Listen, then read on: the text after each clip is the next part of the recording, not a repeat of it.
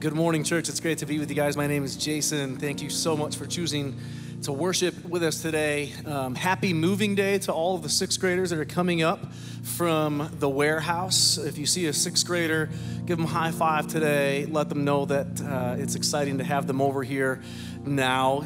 It's not that scary. Um, but we're excited to be able to worship with y'all. Can we stand to our feet?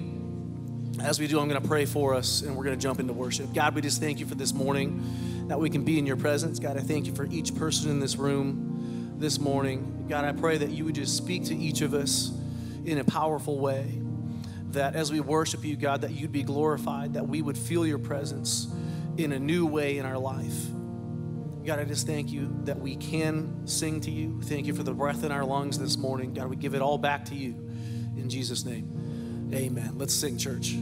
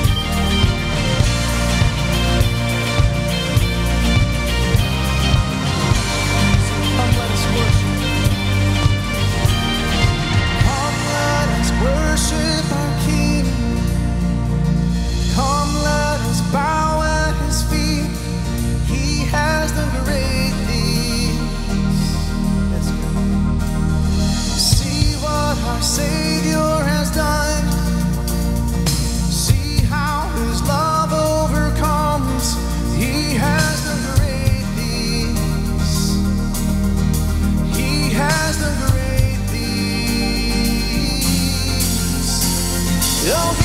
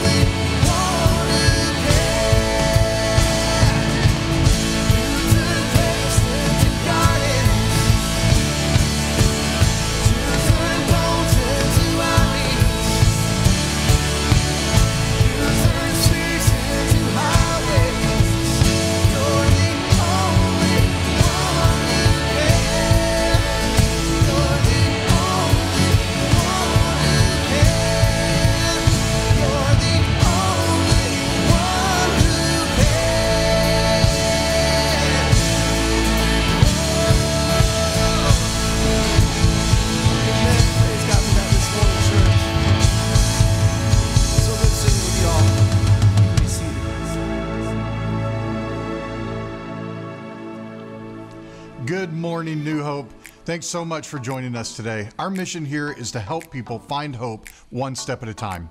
If this is your first time visiting us, we'd love to connect with you after the service. Take a moment to stop by our guest services desk in the lobby for a small gift and more information about New Hope and our ministries. At New Hope, we believe that everyone has a next step in their faith journey. We want to love you where you're at, wherever that may be, and also help you to move forward in your relationship with Christ. For some, this next step might look like following Jesus' example in baptism. And we're so excited to celebrate this together again next month on Sunday, September 1st, during both of our morning services. More information can be found on our app and at newhopecc.org/events. We're currently in a series on the book of Revelation, and we want to invite you to take an even deeper dive with us. Registration is now open for our next session of New Hope studies, and this time we're headed to this very last book of the Bible. Whether you find Revelation intriguing, intimidating, or both, plan to join us beginning Monday evening, September 9th, for this 10 week in depth study Together, we'll take it verse by verse as we unpack truths and begin to understand this book as the culmination of God's great story. For more info and to sign up, head to our app or newhopecc.org slash events. Our incredible care ministry is launching a brand new session of caregiver training beginning this fall. If you've ever wanted to know more about this ministry and how you can get involved, we're hosting an informational meeting today in our main campus immediately following our 11 o'clock service. If you haven't already registered for today's meeting, it's not too late. We still have space for you and would love to see you there. As always, we are so appreciative of your ongoing support for New Hope and our ministries. Your tithes and offerings make it possible for us to continue sharing the gospel here, there, and everywhere. If you'd like to give, you can set up a one time or recurring gift online or place your offering in the boxes by the doors. And don't forget, August is Food Collection Month. We're collecting toiletries and unexpired, non perishable food items all month long to benefit our neighbors right here in Williams County. Now, join us as we continue to turn our hearts and minds toward Christ. Well, good morning. Today is uh, Transition Sunday, so we have like kids moving classes, and, and we have maybe some new students in the room with us. School started this week, so we're gonna we're just gonna kind of see who's in the room. All right. If you're a student of any school in the area and you're in here this morning, I want you to raise your hand. Awesome, awesome. There's a lot of you. Um, yep, yep. We hope you have a great school year. Uh, how, how many college students specifically do we have in here? Whether you're going to school in the area, you're leaving for college soon. All right, several of you. That's awesome. We hope you have an incredible year. How many of you in here are parents of a current student? Yeah, yep. you know, how, how many of you, anybody in here, you sent your kid to like preschool or kindergarten this year? A few of you, yeah. It's like some maybe some tears, you know, you're a little sad. We, we sang about turning mourning into dancing. I promise you, this day gets way more joyful as they get older. You're like, yes, they're back to school, right? How many, how many educators in the room? Yeah, we have a lot of educators here. Yeah. Thank you guys. So it's like we, we just hope you have an incredible, incredible year. Uh, again, if you're coming into this room this morning and you're in sixth grade, we're glad you are with us here this morning. Uh, we started last week in this series on Revelation, and uh, you know, I kind of gave you the warning, like this is really an overview, right? We're, we're not jumping super into a bunch of details. That will be in our Bible study on Monday nights. And I want to encourage you because you may be going like, well, I might have to miss a couple, so I'm not going to sign up. I, still sign up, still go to the ones you can go to. They'll find a way to make sure you're caught up to speed and you're not missing anything, all right? So, this is pretty overview, and I, I just want to make sure we acknowledge that because you're gonna be like, oh, we didn't talk about this and we didn't talk about this. And you're right, we didn't talk about it, and we might not talk about that. So, I want to remind us, though, Revelations chapter 1 verses 1 through 3. This is a revelation from Jesus Christ, which God gave him to show his servants the events that must soon take place.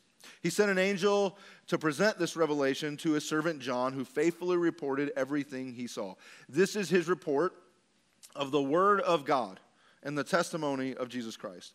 God blesses the one, this is what I want us to key on. God blesses the one who reads the words of this prophecy to the church, and he blesses all who listen to its message and obey what it says, for the time is near. Again, if you weren't here last week, we talked about how it can feel like the book of Revelation is unapproachable and how it can be intimidating and there's all this symbolism and there's all this stuff and we're like I'm not I don't have a theology degree and I just because I don't think I can understand it I'm just not going to read it. I'm not going to try. And I, again, I'll just remind us you don't have to have a theology degree to read the book of Revelation. Why? You're going, well, there, there's a lot of confusing stuff in there. So, wouldn't it help if I had a theology degree? Well, you know what's better than a theology degree is the Holy Spirit. Right? And the Holy Spirit can teach us the things that we need to know when we read God's Word. All right? So, kind of a, I, I want to read, I don't have these up here, okay, these verses up here. But I want to just read for a second in Revelation chapter 1 because I want to bring some more specificity to who this is written to. And we need to keep this in mind as we read the book of Revelation. So, Revelation chapter 1, starting in verse 4, just listen in. If you have a Bible, turn there. This letter is from John to the seven churches in the province of Asia. Again, remember we have uh, a type of writing in Scripture are epistles, which are letters to churches. Revelation is an epistle, as well as prophecy and those sort of things, all right? So this letter is from John to the seven churches in the province of Asia.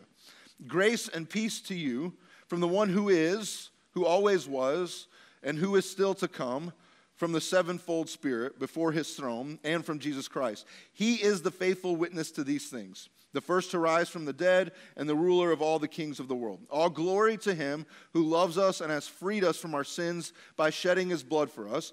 He has made us a kingdom of priests for God his Father. All glory and power to him forever and ever. Amen. Look, he comes with the clouds of heaven, and everyone will see him, even those who pierced him, and all the nations of the world will mourn for him. Yes, amen.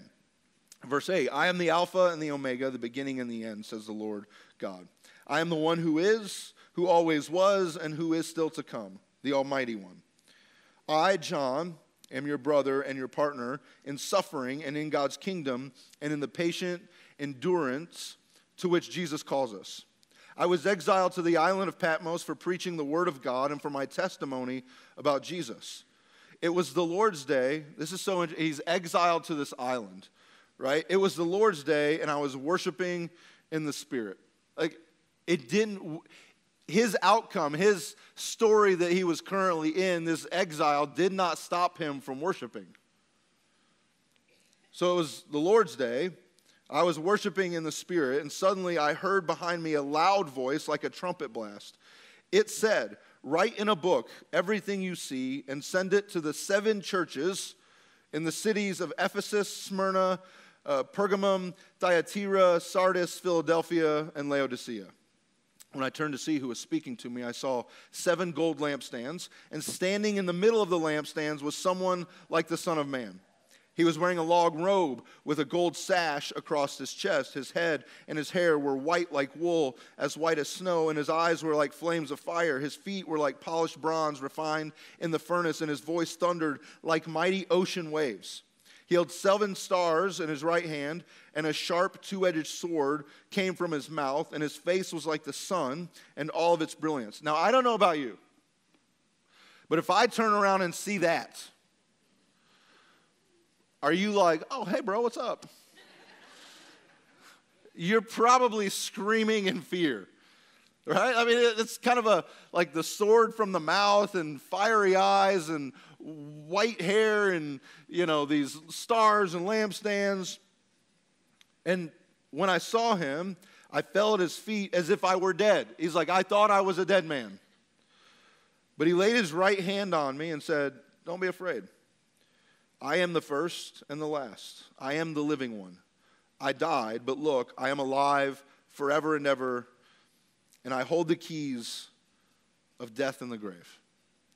Write down what you have seen, both the things that are now happening and the things that will happen. This is the meaning of the mystery of the seven stars you saw in my right hand and the seven gold lampstands.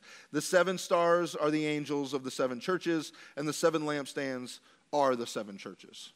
So I, I kind of want to just give you a brief overview of these seven churches because The next few chapters, uh, through chapters two through chapters three, um, specifically address these seven churches. So you have the church in Ephesus, and I just want to give you a basic, like, what this church kind of represents, what this church had done, maybe why they're being addressed to these specific churches. Uh, the church in Ephesus, this is the church that had forgotten its first love. They had just forgotten their first love. Smyrna, the church that would suffer persecution. Pergamum, the church that needed to repent. Thyatira, the church that had a false prophetess. Sardis, the church that had fallen asleep. Philadelphia, the church that had endured patiently. And Laodicea, the church with the lukewarm faith. So, this is just a, a, brief description of these churches that John is specifically writing this revelation to, this letter to. All right, now, I, that, that's all I wanted to touch on that, just so we're aware of these churches. If you would go to Revelation chapter 12. We're going to start in verse 1, and then we'll kind of backtrack and talk about what's happening here. Then I witnessed in heaven an event of great significance. I saw, the, I saw a woman clothed with the sun, with the moon beneath her feet, and a crown of 12 stars on her head. She was pregnant, and she cried out because of her labor pains and the agony of giving birth. Then I witnessed in heaven another significant event. I saw a large red dragon with seven heads and ten horns with seven crowns on his heads. I remember last week we talked about the ocean, the sea, and how this was a representation, this was a symbol of evil, of chaos, of confusion, and, and that there will be a day when there will be no more sea. So it's this representation of evil, and we talked about how the dragon was also a representation of evil. This is the dragon. His tail swept away one third of the stars in the sky, and he threw them to the earth. He stood in front of the woman as she was about to give birth, ready to devour her baby as soon as it was born. She gave birth to a son who was to rule all nations with an iron rod. And her child was snatched away from the dragon and was caught up to God and to his throne. And the woman fled into the wilderness where God had prepared a place to care for her for 1,260 days. Then there was war in heaven. Michael and his angels fought against the dragon and his angels, and the dragon lost the battle, and he and his angels were forced out of heaven. This great dragon, the ancient serpent called the devil or Satan, the one deceiving the world, was thrown down to the earth with all his angels. Then I heard a loud voice shouting across the heavens It has come at last salvation and power and the kingdom of our God and the authority of his Christ for our accuser, for the accuser of our brothers and sisters has been thrown down to earth, the one who accuses them before our God day and night, and they have defeated him by the blood of the Lamb and by their testimony. And they did not love their life so much that they were afraid to die. All right, we'll stop there. So there's a few characters in this vision that John is having. You have the woman, you have the child, you have the dragon. So we're, we're told the dragon is the devil, it's Satan. It's actually pronounced Satan. It, it simply means this accuser. Uh, uh, that's literally what this evil one's name means is the accuser. The woman in this imagery is Israel, the people of Israel. And the child, as we would know, would be Jesus. And so you have Satan, you have the dragon waiting for this child to be born to devour the child. But the child was swept to heaven. Israel flees into the wilderness to be protected. And that's this vision that we have. But I want to go back specifically to Satan in this story. This idea of being the accuser. there's a reality that every single one of us, we sin, right? We, we, we do, uh, we do hurtful things. We do dumb things. We do sometimes, as humans, terrible things. And there are consequences for actions, but there's also this accuser that is there to just constantly accuse. And oftentimes it's subtle, it's in quiet moments, it's not always overly loud. In fact, more than likely, maybe you've experienced a phenomenon like this where your day has gone pretty well and maybe you've even kind of forgotten about some of the things in your life that you've done and then you lay down in the quietness of your bed at night to go to sleep and the internal voice gets incredibly loud, doesn't it? And that accuser starts to accuse. That accuser starts to create doubts. One thing we have to remember in all of this is our battle is not against people. It's not against flesh and blood. It's against evil. It's against the accuser. And, and here's my fear with the church we are so busy fighting people that, that we make a physical manifestation of evil, and it is. But we forget that there's a bigger war going on. We forget that there's a spiritual war happening all around us. And so we may, and I- we'll, we'll put it in the context for our day and age, right? We may get on Facebook and go to battle with people. Meanwhile, evil continues. Meanwhile, the accuser still does his thing because we have taken a battle to a place that we don't need to take the battle. We get all maybe hot and bothered about some things that are happening in media or in culture, and we're, you know, we're canceling this and we're not doing this and we're not doing that. Meanwhile, we're just fighting people. Now, let me give you two examples, and I think they're pretty great examples to follow. One being Jesus as he hung on the cross. What did he say to the people who were killing him and torturing him? What did he pray to his Father? Anybody remember? Father, forgive them. They don't know what they're doing. They're under some influence that is way bigger than they are. They don't know what they're doing. Forgive them. Then there's another guy by the name of Stephen who is like this first martyr that we see who was killed. He was publicly stoned for his faith and for his outspokenness of his faith and the word of his testimony. And he says in Acts chapter 7, verse 60, it says, He fell to his knees, shouting, not quietly as rocks were pummeling him, but he shouted, Lord, don't charge them with this sin.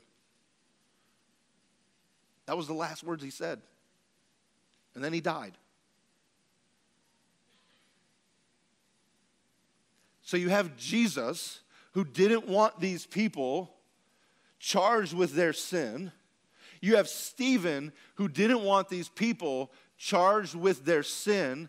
Meanwhile, today, us Christians run around wanting everybody charged for their sin which is really hard to be a preacher of the good news when we desperately want to see people burn. Because do we really want them to have hope? Do we really feel like they deserve it? And I say all this simply to remind us our war is way bigger than flesh and blood, it is a spiritual battle. But it's hard to imagine when we see things that happen in our world, specifically um, acts of terrorism against children. That's painful to watch. So far, over 15,000 children have been killed in the Israel Hamas war. Over 15,000 kids. You see things like the Uvalde school shooting.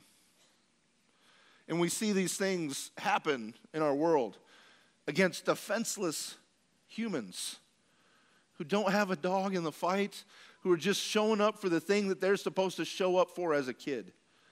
And we go, how could somebody do that and they don't have any defense?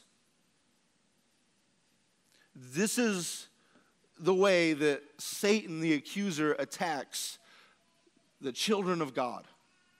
But here's the difference we're not defenseless. We oftentimes will maybe pretend like we're defenseless or we think we're defenseless, but we actually have a really, really, really incredible defense. Chuck Pierce, in his book, Restoring Your Shield of Faith, says this Satan likes to fill us with doubt. To accomplish this, he plants questions in our mind about the goodness and love of God. When Satan approached Eve in the garden, his strategy was to cause her to doubt God's goodness. He insinuated that God did not have her best interest at heart and that God was trying to keep her from what would be best for her. This is the plan of attack. It's not overly complicated, it's not overly loud, it's not overly aggressive. It is very quiet and it is very simple. It's the accuser showing up like he did for Eve and going, How, how could this God that created you treat you this way? I mean, does he really care about you?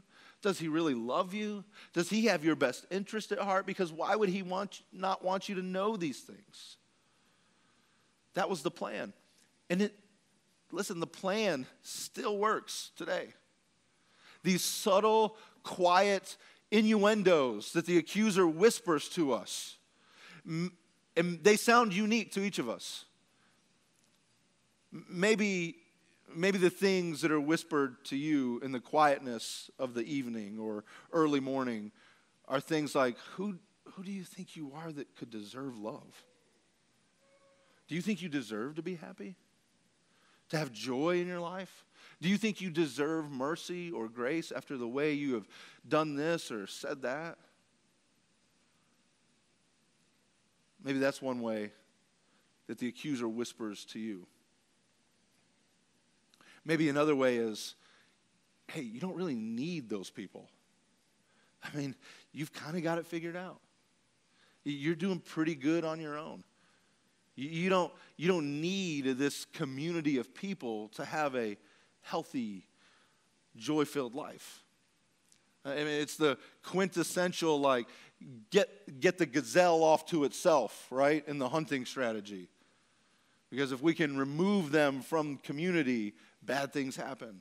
And eh, whatever is whispered to you may be unique, but understand this Satan is the accuser and it's quiet and it's subtle. That's why I feel like in Revelations 12:10 we read this. Then I heard a loud voice shouting across the heavens. There was some volume. It was loud to be heard over the quietness of the accusations, to be uh, so it could be understood, so that it could be heard. It was loud, and then it goes on to say, "It has come at last." Salvation and power in the kingdom of our God and the authority of his Christ. For the accuser of our brothers and sisters has been thrown down to earth, the one who accuses them before our God day and night. This is a 24 7 battle. And then we get to verse 11 in chapter 12, which is both encouraging and instructional.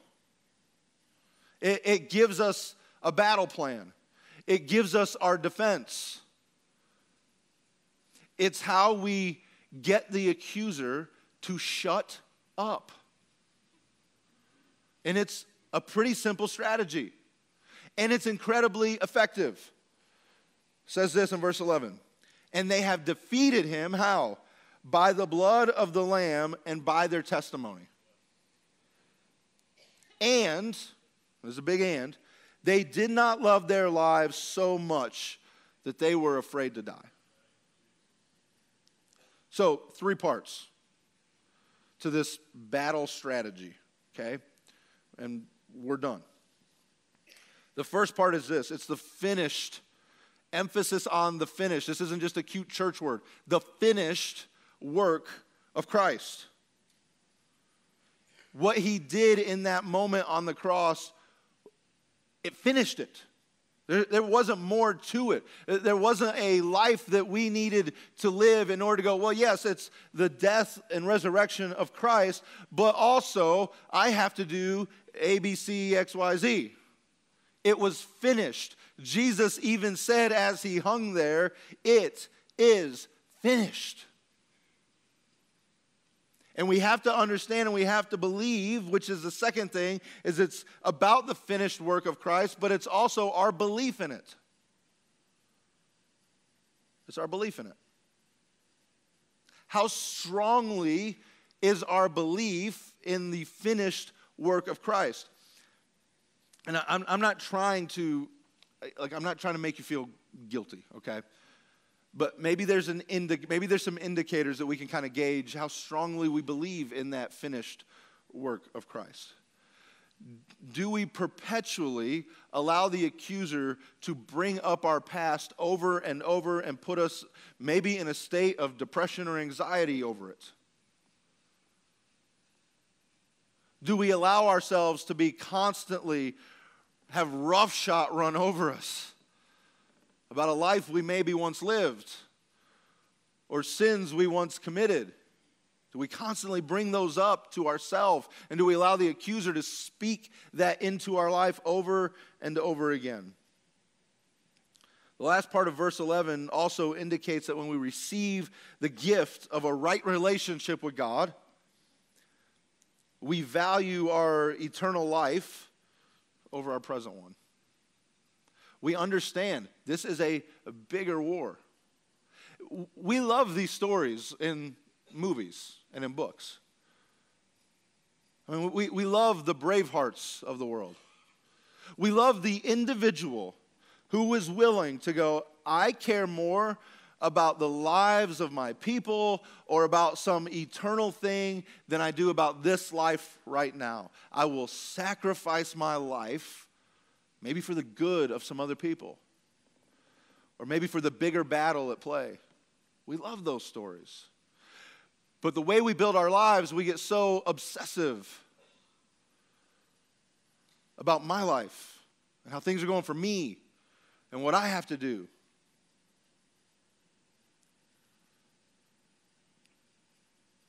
We're able to let go of our old life and embrace God's better eternal life for us. An upgrade we're willing to make even in the face of death for God's purpose. Again, we're reminded of a guy like Stephen and so many, and a guy like John who was in exile, and so many of the disciples that followed Jesus who lost their lives because of it, because they understood this. Ed Stetzer in his writing Nominal Nation, the shift away from self identified Christianity, says we do see that many nominal Christians in America are ending their identification with Christianity. Nominalism is dying. I say good riddance. I'm ready for the gospel to mean the gospel and for Christians to be known as Christians. People need to see that Christian isn't just a checkbox on a questionnaire, but it's a life changed by the gospel. I think we should seize this opportunity. We live in a mission field with an unengaged mission force. This idea of nominalism that, yeah, I'm Christian because my grandma was, and, you know, I got to fill out a, a form on maybe a, a, a tax thing or some kind of a religious affiliation, and we check the box because it's just what, what I do, you know, it's who I am a little bit. This idea of nominalism is starting to disappear. And I, I agree. I'm actually glad. I'm glad we're at least identifying who we are and where we're really at. I mean, think about it from a war standpoint, right? You're, you're on the front lines of a war, and you look at the, the guy or the gal next to you and you go, Are you ready to do this? And they go, No, I don't want to be here. You're going, This is going to go bad. And when we talk about spiritual warfare, we're going like, we, we want people who are willing to go, hey, this, is, this life is temporary. There's a bigger battle, there's an eternal battle happening. And willing to lock arm in arms. How? And this is so simple. Right? This is so simple. The defeating of the enemy, the defeating of the evil one, comes through the word of our testimony.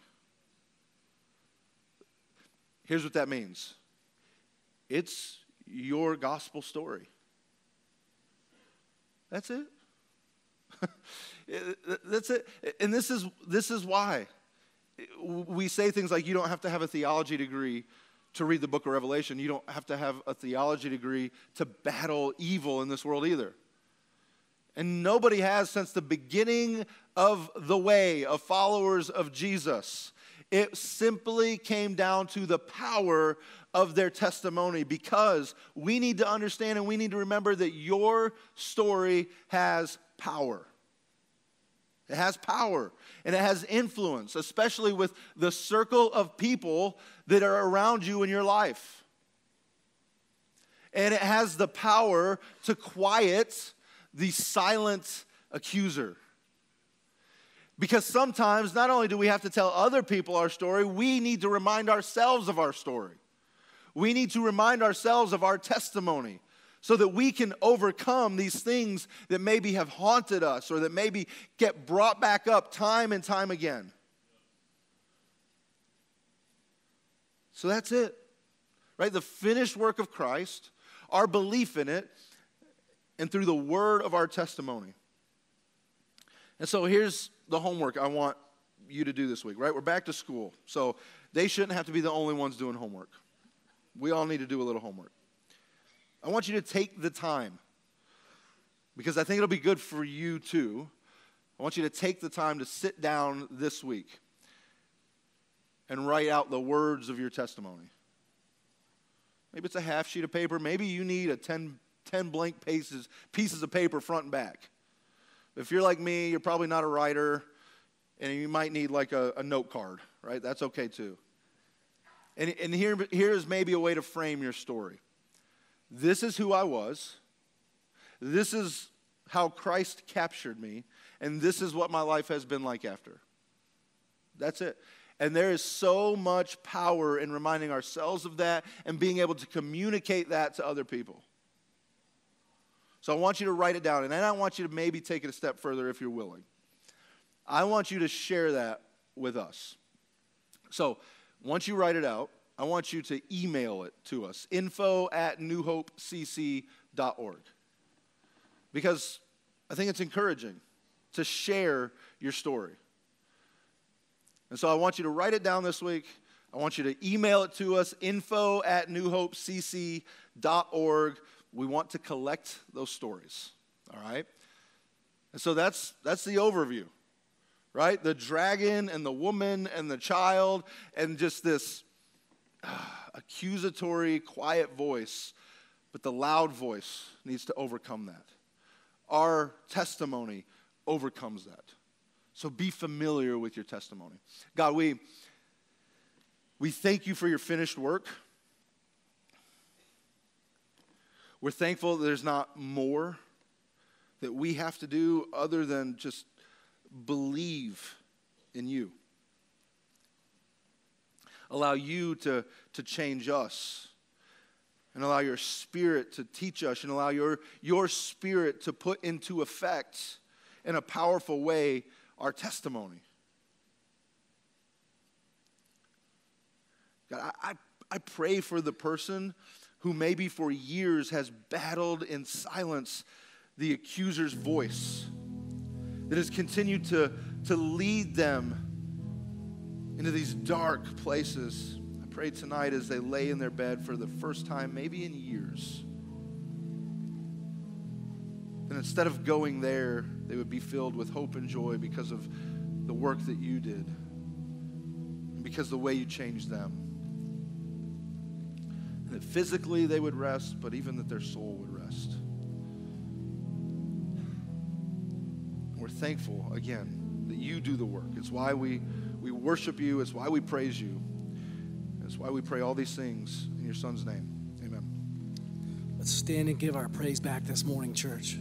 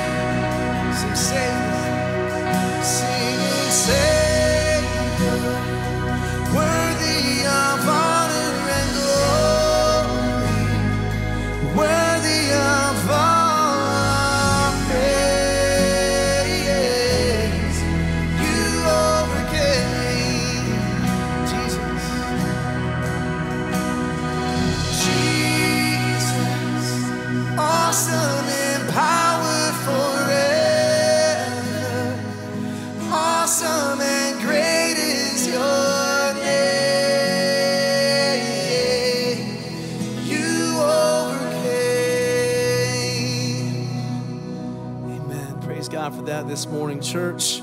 Um, as you leave this morning, I want to make you guys aware we've got our new year at a glance book that is fresh off the presses. We would love for each of you to take one of those. It gives you all sorts of dates and things that are coming up for the next year. So grab one of those on your way out. We love you guys.